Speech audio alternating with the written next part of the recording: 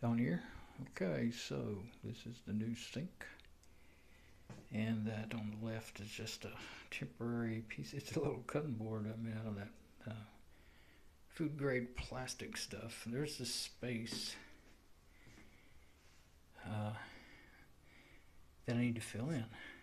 The reason I need to fill it in is because when I made this cabinet right here, I miscalculated the depth. I measured it three times and got it wrong four times. And so uh, uh, I didn't realize it until I completely finished and put the uh, on it. So I had some scraps of um, culture marble out there in the garage that somebody gave me years ago. They were cut off from some big tops and stuff, you know, and backsplashes, whatever. Don't know. It was in, and uh, so I got some. Uh, I did a bunch of reading and video watching, and I got some. Uh, in the previous video, you can see it. The uh, gel coat because it, it was old and yellowed and wasn't the same color to begin with. It wasn't white. This is really white. You can kind of see that, I think. But it's pretty close. Uh, this is as white as you can get, from what I could tell. Of course, everybody's name, white names are different, but uh, color names. But uh, it's going to go back there.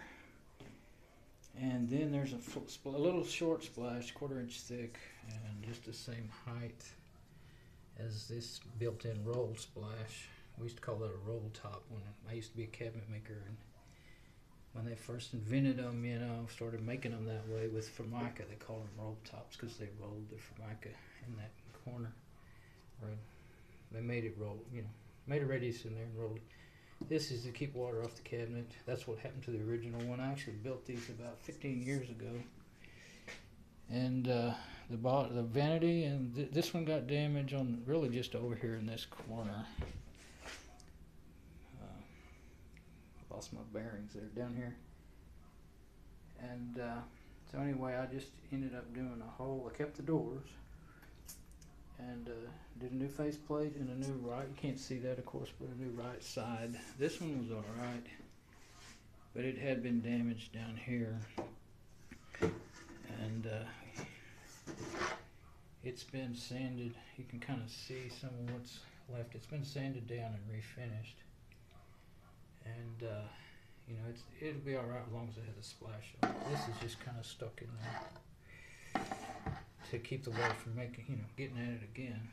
But uh, it actually I use this Flecto Varathane. It used to be called Flecto Varathane. I think they just call it Varathane now.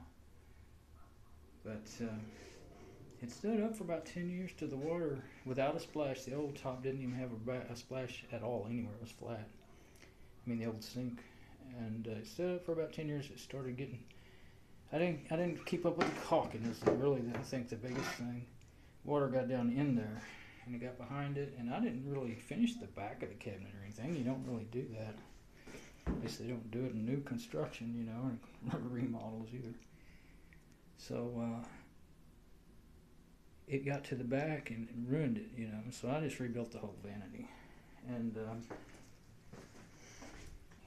the bathroom's not big enough to get a good view. But uh, this time I finished every inch of that thing, bottom, top, back, everything. This this vanity I did, and um, so we're gonna put this in. Then I have to cut. I didn't want to cut it until I knew for sure. Until I got it in, got it set where it's going to be, and I want it to be right there on that edge of that route. So um, I wanted to cut it after it was exactly where it's going to be. So then I'll have to finish that little end of that. I'll have to put some more gel coat on that end where I cut it because I don't want water ruining. That stuff's really porous, you know, when it's not fit, when it's not covered in anything. It comes. They put this gel coat in the mold and then pour in the uh, the uh, cultured marble, and it sticks to the cultured marble as it dries. That's how they get it so shiny and smooth. This did pretty good, but you can feel a little texture to it. You can see it when you're out in the light. But It's way better than brushing. I started out trying to brush, and that was a no go. I got a scrap, a piece of scrap out there that I tried that on. So anyway, go back to work.